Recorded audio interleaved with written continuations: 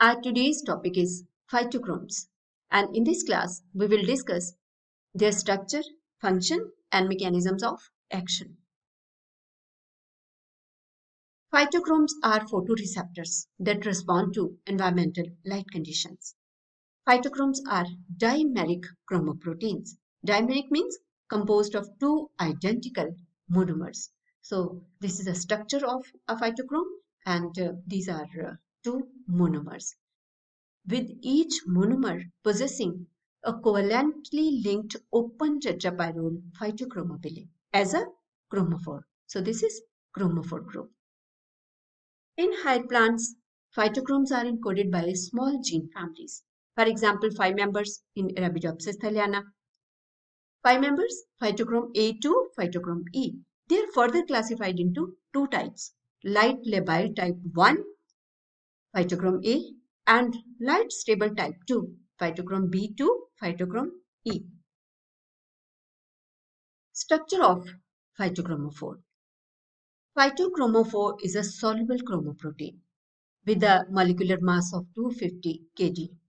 Phytochrome occurs as a dimer, as I already told you, made up of two subunits. This is one and this is second subunit, uh, each with molecular mass of 125 kg.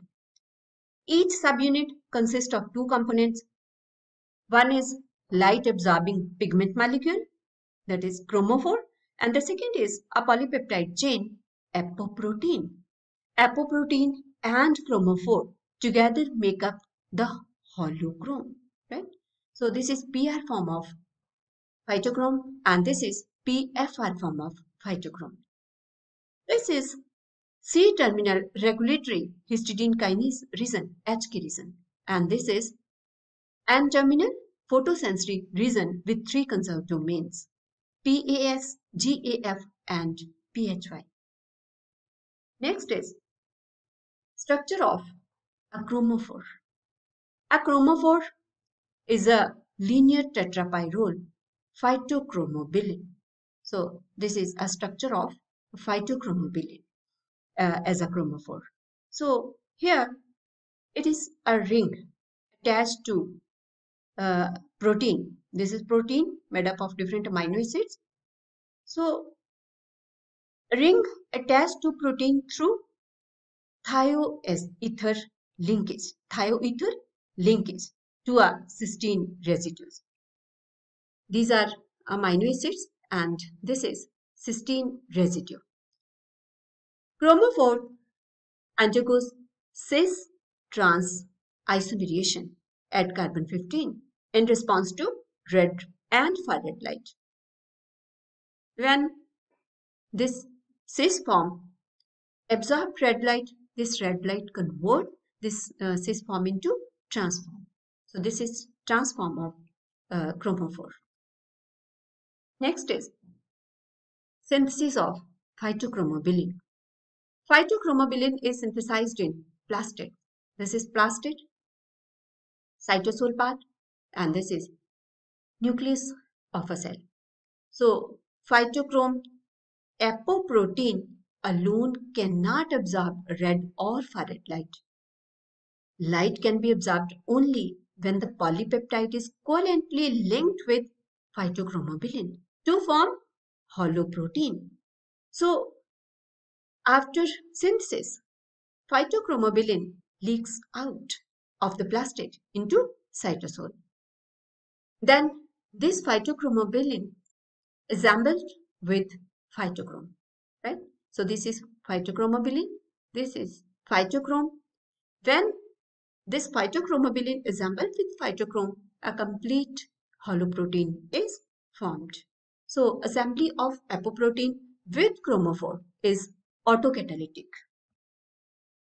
Next is domain architecture of phytochromes.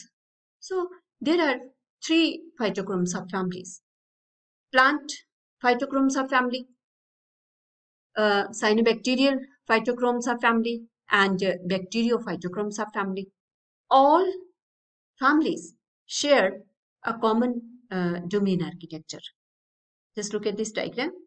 This is domain structure of plant phytochromes this is cyanobacteria uh, phytochrome and this is bacteriophytochrome subfamily domain structure. So all share a common architecture consisting of N-terminal photosensory region with three conserved domain termed as P2 or PAS domain, P3 or GAF domain and P4 or PHY domain. Second is C-terminal regulatory histidine kinase or histidine kinase related domain HKRD or HK. So this is domain architecture of phytochromes. Now molecular mechanisms of plant phytochrome signaling. Now this is phytochrome illuminating dark brown tissues with red light converts this phytochrome from R absorbing uh, PR form to FR absorbing PFR form. Photoconversion of PR to PFR effects a conformational change uh, that facilitate phosphor transfer uh, phosphor transfer to a bound anchoring molecule X. Right? So, now just look at this complex. Complex PFR ADP XP complex.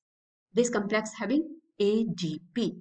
So, after that, this complex dissociate upon ATP to ADP exchange and PR, um, this PR form, it migrate, um, uh, migrate to nucleus. This PR, PFR migrate, uh, migrate to nucleus where an terminal photosensory domain can interact with regulatory transcription factor. This altered activity of putative anchoring molecule XP is in, uh, to initiate a cytoplasmic output signal. Now, function of phytochrome. The phytochrome system acts as biological light switch. It monitors the level, then intensity, duration and color of environmental light.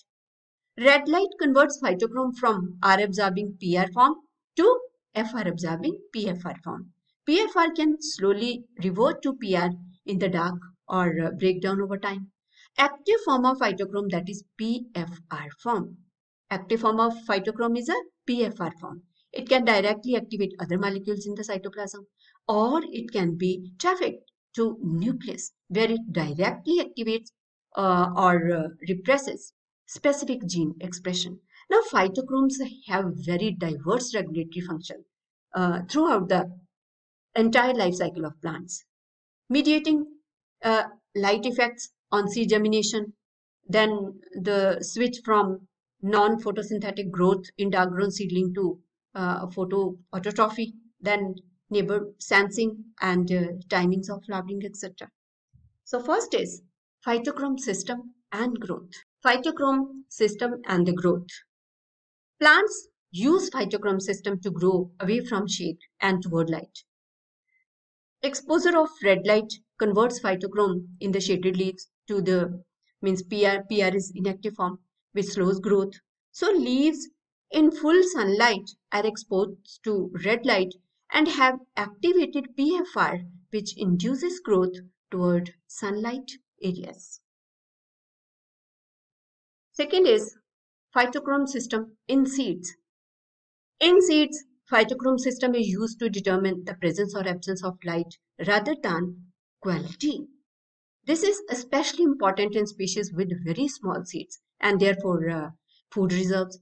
For example, if lettuce seedling germinated a centimeter under the soil surface, the seedling would exhaust its food resources and die before reaching the surface. So seed will only germinate if exposed to light at the surface of the soil, causing PR to uh, be converted to PFR, signaling uh, the start of germination. In the dark, phytochrome is in inactive PR, uh, PR form, so the seed will not germinate. Photoperiodism. Plants also use uh, the phytochrome system to adjust growth according to the season.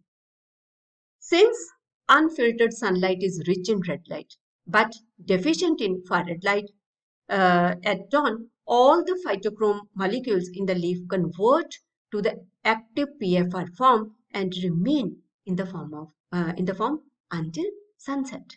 Since PFR reverts to PR during darkness, there will be no PFR remaining at sunrise if the night is long, means in winter, and some PFR remaining if the night is short, means in summer.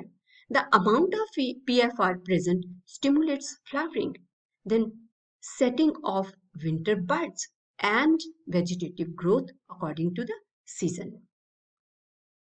So thanks for watching. If you like this video, make sure to subscribe for more. Thank you.